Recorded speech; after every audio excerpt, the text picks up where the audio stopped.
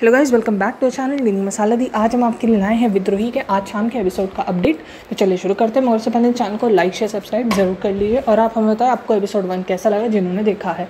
तो चलिए शुरू करते हैं। नेक्स्ट एपिसोड में हम देखेंगे महाराज और माँ के बीच होगी एक बहुत लंबी बातचीत जिसमें माँ महाराज से पूछेगी, हमें इन अंग्रेज़ों के खिलाफ कुछ तो करना ही पड़ेगा, हमें और राज्यों से मदद मांगनी पड़ेगी। राजा इसका जवाब, जो महाराज है, वो काफ़ी उदास हो जाएँगे सुन के। जी हाँ तो इमोशनल एपिसोड होगा जिसपे थोड़ा बहुत डिस्कशन होगा।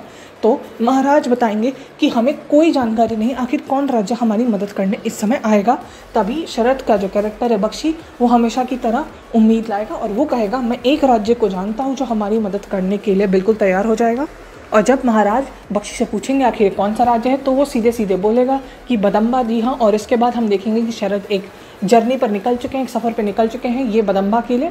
और हम इसी में देखेंगे उनका अलग अलग मुसीबतों का सामना होगा। देखने से नहीं लगता कि शरद अगले ही एपिसोड में बदम्बा पहुँचेंगे।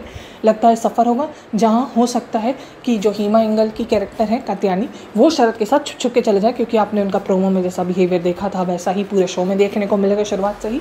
और इसी में वो शरद नज़दीक आए, और वही वो शरद को अपनी बहादुरी साबित कर दे, और हमें भी शो में और साबित हो जाए, और पूरे राज्य को देखे कि शरद कितना ज़बरदस्त है, और अंग्रेज़ों में शरद का खौफ बैठ जाए। तो आज की खबर में इतना like and subscribe to our channel